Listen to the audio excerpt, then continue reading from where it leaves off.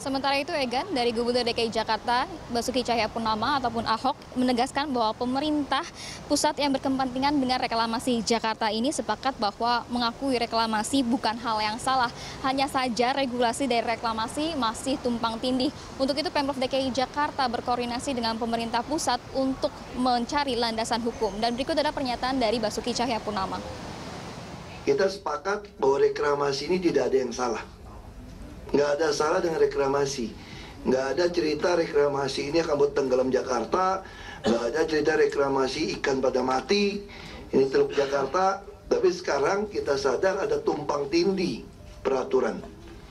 Termasuk juga kami diuntungkan misalnya pulau OPQ kita mau bikin Port of Jakarta. Dengan melalui peristiwa ini kita bisa sekalian luruskan saja soal OPQ jadi MN OPQ bisa buat Port of Jakarta kerjasama dengan Port of Rotterdam.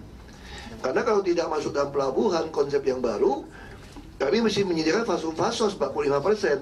Bagaimana pelabuhan menyediakan